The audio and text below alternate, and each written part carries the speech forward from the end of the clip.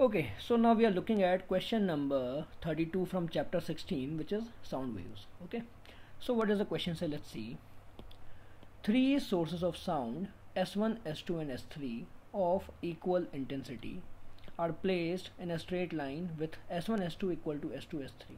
Okay, तो ये तुम्हारे पास तीन सोर्सेज हैं S1, S2 and S3 ये पॉइंट P है तीनों एक सिंगल लाइन में है collinear okay at a point P far away from the sources the wave coming from S2 is 120 degree ahead in phase from that of S1 also the wave coming from S3 is 120 degree ahead of that from S2 what would be the resultant intensity of sound at P okay तो देखो यहाँ पे क्या हो रहा है three waves are coming from S one S two and S three तो जो पहली वेव तुम्हारी है ये पी पे आएगी ये ज़्यादा पाथ ट्रैवल करके आएगी। दूसरी वेव जो है, ये भी पी पे आएगी और ये तीसरी वेव भी पी पे आएगी। So the three waves are reaching at the point P obviously they are travelling different amount of length okay so finally when they reach the point P their phase will be different what is phase suppose we have that pressure difference delta P equal to delta P not delta P is the change in pressure and delta P not is the maximum change in pressure sine kx minus omega t okay? I'm uh, there's one more value phi. Let's just put phi also plus phi okay? So this term here is called as the phase okay? This this angle term is called as the phase correct? Now the question says that the phase difference is 120 degree between the sources okay? S2 is 120 degree ahead in phase from that of s1 so now whenever we are coming to the questions of phase generally it's easier to solve the question based on uh, phasor diagram okay? So what are the phasor diagrams? Now a phasor diagram is generally represented by an arrow okay? And this arrow will be rotating with angular speed omega. What is omega? Omega is the frequency angular frequency of the sound wave okay? So this phasor is rotating with angular velocity omega okay? Now so let's follow the question. So the wave coming from s2 is 120 degree ahead in phase of that from s1 so let's say this is the phasor from s1 this is the phasor from s1 then the phasor from s2 is 120 degree ahead from s1 so the phasor s2 will be having 120 degree angle ahead of s1 okay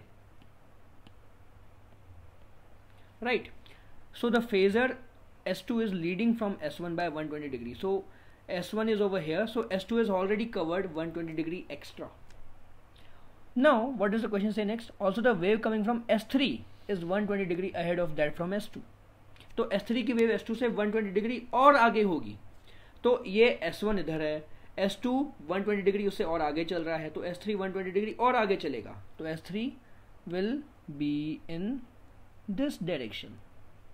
Okay? So this angle is further 120 degrees. Okay?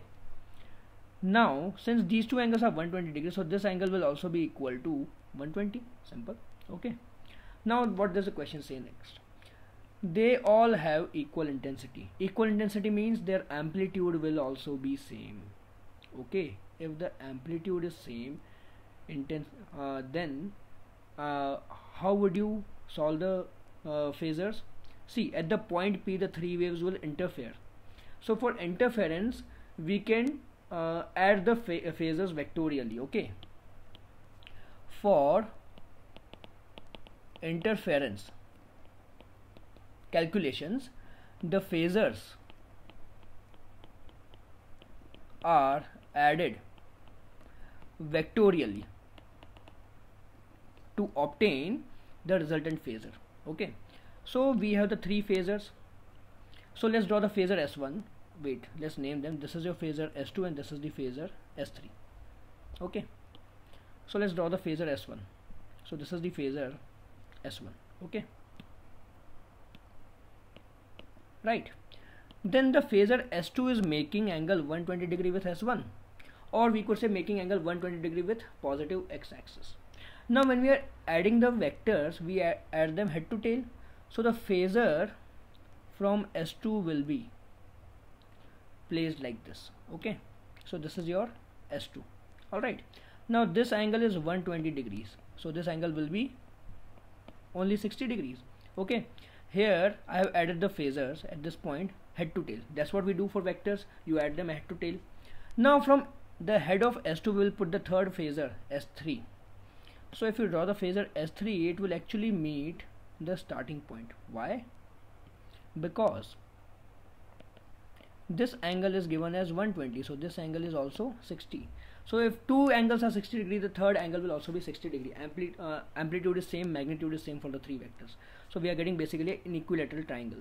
So what we conclude from here is that sum of the phasors is 0 sum of phasors is 0 so the resultant amplitude is 0 if the resultant amplitude is 0 the intensity will be 0 so the question is asking what is the resultant intensity? So the resultant intensity will be 0 there will be no sound heard at the point P. Clear? In fact if you observe this